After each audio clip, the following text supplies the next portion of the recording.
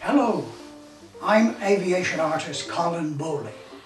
I'm a member and volunteer at the British Columbia Aviation Museum. One of the projects currently underway at the museum is the construction of a full-size replica of the historic 1917 Hoffar H-1 seaplane.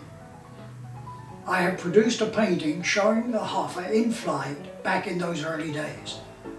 It is piloted by one of the Hoffar brothers and has just taken off from Coal Harbour in Vancouver, British Columbia. To produce this painting, I first had to prepare a series of line drawings to establish the dimensions of the aircraft.